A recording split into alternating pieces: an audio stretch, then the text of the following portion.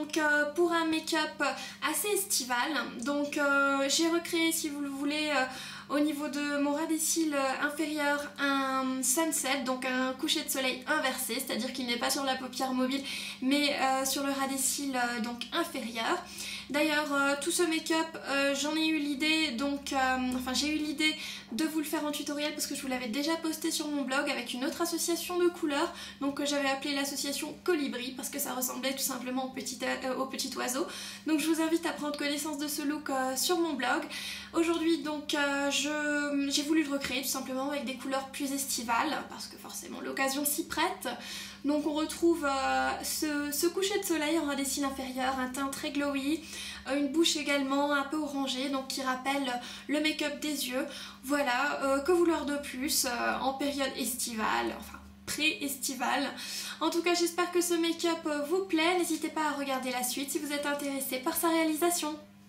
Donc pour commencer, j'ai déjà appliqué donc ma base Paint Pot, le Painterly de chez MAC, qui est une base mate et couleur chair, donc je l'ai appliqué sur l'ensemble de ma paupière mobile. Et euh, je vais encore davantage matifier euh, ma paupière, parce que vraiment on va voir ce contraste entre la paupière mobile mate et euh, le dessous, le ras des cils en fait, qui est bien irisé, bien coloré. Donc je vais utiliser en fait un fard qui est le brûlé de chez MAC, qui est ce fard couleur chair que je vais appliquer également sur l'ensemble de la paupière mobile. Donc on va ensuite passer aux choses un peu moins faciles, mais bon vous inquiétez pas, c'est pas trop compliqué non plus. Donc on va passer au Fluid Line de chez MAC, qu'on va appliquer avec un pinceau soit euh, biseauté, soit comme celui-ci, un précision, donc qui peut être soit normal, soit coudé. Et je vais faire un gros plan, donc bien évidemment pour que vous puissiez voir ce que je fais.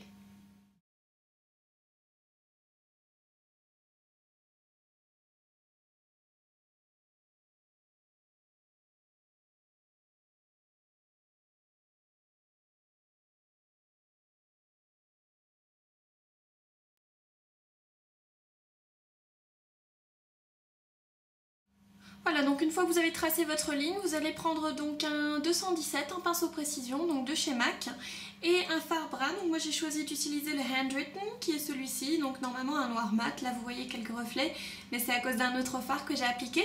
Donc on va prendre un peu de matière pour commencer, estomper l'excès, et on va venir en fait placer euh, cette matière juste au niveau du ras des cils.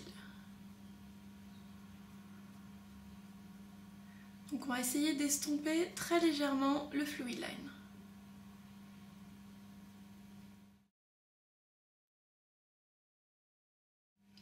Donc en fait la ligne devient de plus en, plus fine donc euh, en allant de l'extérieur vers l'intérieur et l'inverse bien sûr. Donc euh, plus vous allez vers l'extérieur de l'œil, plus la ligne devra donc s'épaissir.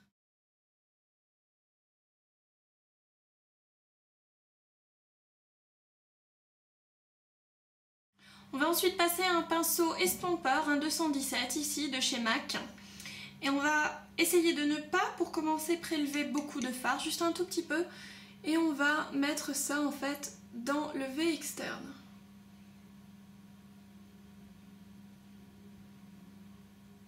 Pour donner tout simplement de la définition.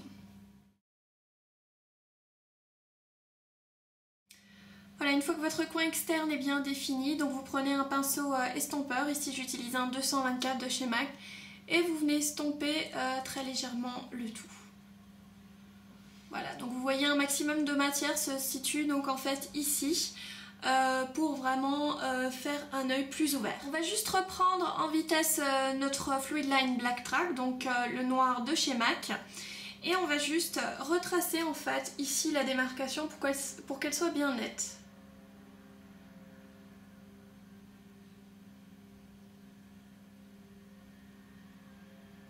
donc à peu comme ça. Donc pour la prochaine étape, on va s'occuper donc du ras des cils inférieur et comme on a des couleurs assez claires à la base, euh, on va utiliser donc un euh, Jumbo Pencil de chez NYX, donc euh, qui est tout simplement un col vraiment super gras et blanc parce que ça va intensifier donc la couleur et le rendu des fards qu'on va appliquer par dessus. Donc on va appliquer ça au coin, donc pas au coin, au ras des cils donc inférieur.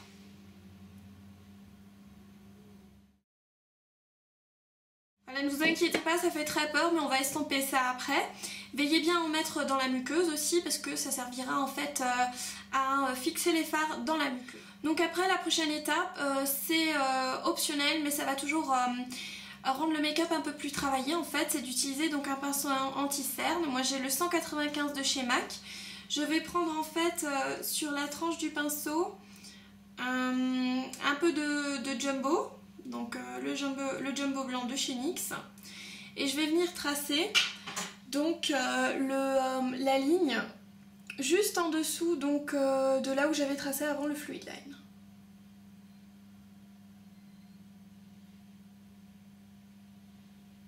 Ça va encore plus en fait accentuer la démarcation.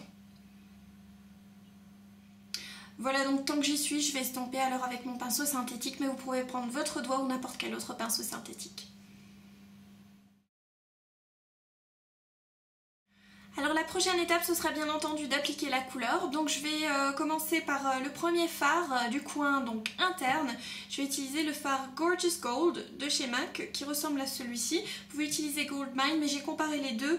Goldmine est plus foncé donc il peut-être un peu moins de contraste avec le reste des fards qu'on va appliquer. Donc je le prélève sur un pinceau précision qui est le pinceau précision Real Techniques. Donc de très bonne qualité, je vous le conseille. Donc je l'applique par-dessus euh, le blanc. Et il va falloir euh, en mettre plusieurs couches.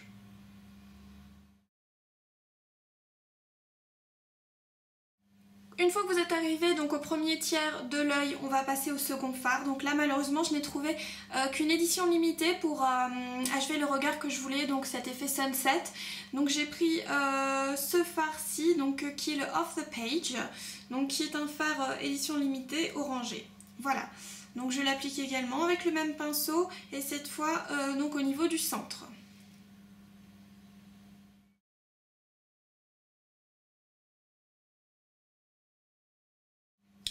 Ensuite, le dernier fard que nous allons utiliser, ça va être le Coppering, donc qui est un rouge cuivré également de chez MAC. Et là, on retourne de nouveau sur les fards permanents.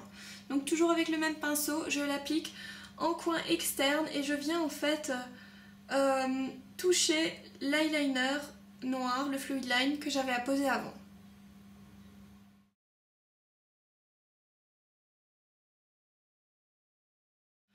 Donc voilà le résultat. Euh, il se peut que vous ayez besoin de nouveau de passer euh, individuellement sur chaque phare. En revanche, vu que les fards sont irisés, ça va être super simple en fait de les fondre les uns avec les autres pour avoir vraiment un dégradé super joli et super facile donc à réaliser. Euh, voilà, donc ce qui reste à faire bien entendu maintenant euh, c'est euh, de recourber les cils, d'appliquer du mascara et d'appliquer des fossiles. Donc moi pour les fossiles j'ai choisi de mettre donc des demi-fossiles, c'est les 318 de chez Ardell que j'aime beaucoup parce qu'ils font naturel en fait et qui vont juste un peu ouvrir l'œil sans vraiment, enfin je pense qu'ils font trop naturel même des fois. Euh, mais ça va quand même apporter euh, une petite touche vraiment sympathique au make-up, surtout là où on va voir la paupière euh, mobile qui n'est pas vraiment chargée. Donc voilà, je vais faire ça en vitesse et je vous dis à tout de suite pour le reste du tutoriel.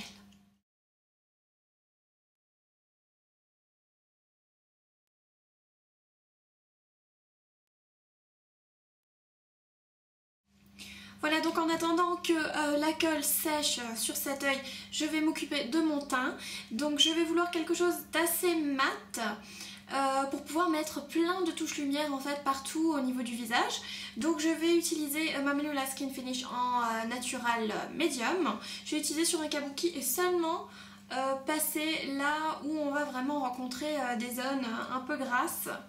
Donc la zone T qui est celle-ci et un peu donc euh, au niveau euh, au niveau de la bouche etc voilà donc le milieu du visage en fait.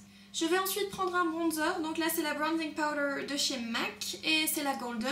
Je vais l'utiliser avec un pinceau fuselé, donc là c'est le 138, ça s'est effacé avec le temps, enfin je pense que c'est ça. Et je viens l'appliquer donc au haut des pommettes, voilà pour donner en fait euh, une touche de bronzage. Parce que c'est un make-up quand même euh, très estival, donc on va essayer d'accorder toute la... comment dire, tout le visage avec.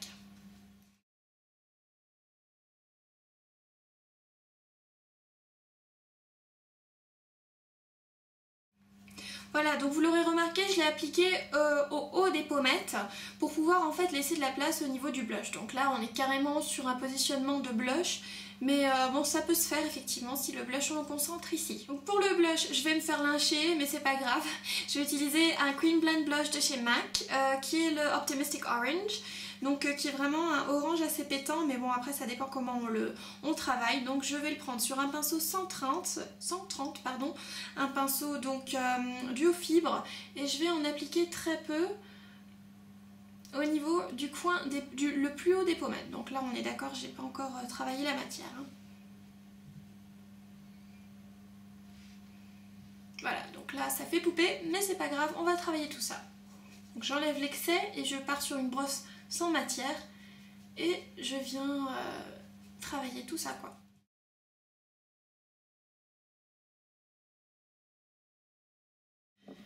Voilà donc à la fin j'ai donné encore un coup de kabuki pour estomper le tout donc vous voyez le résultat est finalement très subtil hein. donc au pire il faudrait peut-être même encore un peu en rajouter. Voilà juste par petites touches pour avoir euh, une petite couleur. Voilà, au niveau des jours. La touche lumière, je vais utiliser euh, un stick multiple donc de chez Nars qui se présente comme ça. Donc euh, là c'est une édition limitée, enfin elle existe en grand format mais je l'ai eu en petit format, c'est une édition limitée d'été. C'est le Copacabana en fait, euh, voilà. Donc il existe en édition euh, normale. Donc là il fait cette taille, donc je pense que le petit me suffit. La particularité de ce Beans, c'est que en fait ça se transforme en poudre. Donc vous n'allez pas le croire mais c'est vrai. Donc je l'applique en petites touches. Donc vous voyez là ça, se, ça se dessine. Et je viens l'appliquer donc au niveau du V. Voilà, j'en applique un peu ici aussi pour donner ce, ce glow et je viens le travailler avec, le, avec la main. Donc c'est légèrement pailleté en fait cette formulation et c'est plutôt sympathique en fait, j'aime bien. Donc là je pense que ça passe quand même pas mal à la caméra, ça laisse des petites paillettes. Et donc c'est un genre d'enlumineur qui, euh, euh, enfin que je n'ai encore jamais vu, donc c'est pour ça que je le trouve plutôt plutôt spécial, vraiment sympa à utiliser. C'est là vous pouvez pas utiliser ça pour tout, hein, parce que bon, euh, on va pas faire euh, paillettes, euh, paillettes disco ball, mais là ça se, ça se porte, ça se prête, pardon, parce que justement on a un make-up qui est quand même assez léger. Juste encore en profiter pour en mettre un peu sur le doigt, le tapoter au niveau de l'arcade sourcilière hop, quand même donner un petit côté brillant, et au niveau de l'arc de Cupidon. Pour ce qui est des lèvres, je vais utiliser euh, donc un crayon à lèvres qui s'appelle Subculture de chez MAC.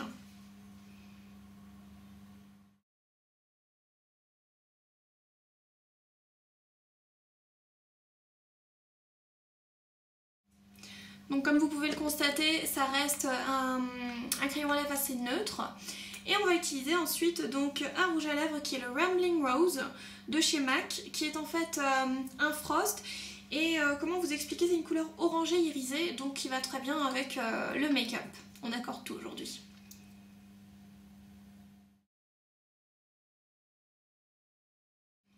Voilà, donc ce look est terminé. Euh, bien entendu, vous pouvez varier les plaisirs en variant les couleurs, euh, que serait-ce au niveau du rouge à lèvres, au niveau de la couleur avec laquelle vous estompez le fluid line, au niveau du fluid line, au niveau de, euh, de la combinaison de couleurs que vous allez utiliser en ras des cils inférieurs. Euh, bien entendu c'est ouvert, là j'ai voulu vous proposer une version un peu estivale, donc avec des couleurs euh, de soleil et compagnie, un teint euh, assez glowy, même très glowy en fait, donc parfait pour les teints bronzés. Donc voilà, j'espère que ce maquillage vous a plu. En tout cas, n'hésitez pas à me laisser vos commentaires, vos recréations si vous en avez faites. Postez-moi vos vidéos, vos photos, que ce soit sur le blog ou sur YouTube. Euh, ça me fait toujours plaisir de voir que vous participez activement et que je puisse euh, inspirer euh, plus ou moins vos créations. Voilà, je vous remercie et je vous dis à bientôt pour une nouvelle vidéo ou un nouvel article sur afleurdepeau.fr. Je vous remercie d'avoir regardé cette vidéo. Si elle vous a plu, n'hésitez pas donc à vous abonner pour ne rater plus aucune vidéo. N'hésitez pas non plus à commenter, à la partager et bien sûr à vous rendre sur le www.afleurdepeau.fr pour encore plus de make-up, de revues et d'articles tout autour du thème de la beauté. Je vous remercie.